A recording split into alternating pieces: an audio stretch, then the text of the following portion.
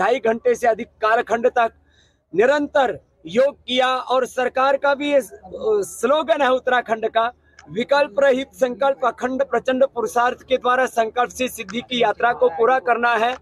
योग युक्त, रोग मुक्त और नशा मुक्त उत्तराखंड बनाना है और योग के साथ उद्योग और उद्यमशीलता को आगे बढ़ाते हुए उत्तराखंड को दुनिया की सांस्कृतिक आध्यात्मिक राजधानी के रूप में विकसित करना है। इस संकल्प के साथ आज का यह योग दिवस यहाँ संपन्न हुआ है, जिसमें हमारे हिंदू भाइयों के साथ साथ आप यहाँ पर भी देख रहे हैं, एक तरफ़ पगड़ी भी है सिर पर, सन्यासी के तो दूसरी तरफ़ टोपी भी है।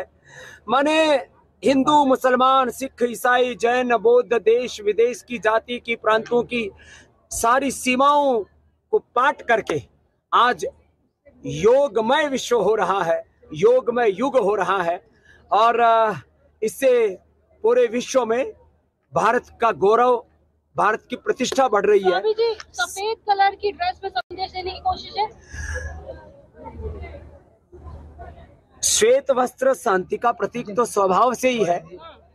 और इसीलिए सबके ड्रेस का प्रोटोकॉल में श्वेत वस्त्र और हमारे मुख्यमंत्री जी भी अनायासी कोई प्रोटोकॉल के तहत नहीं, श्वेत वस्त्र पहन के ही आए हैं। तो चारों तरफ़ शांति हो, सद्भावना हो, ये तो संकल्प है ही।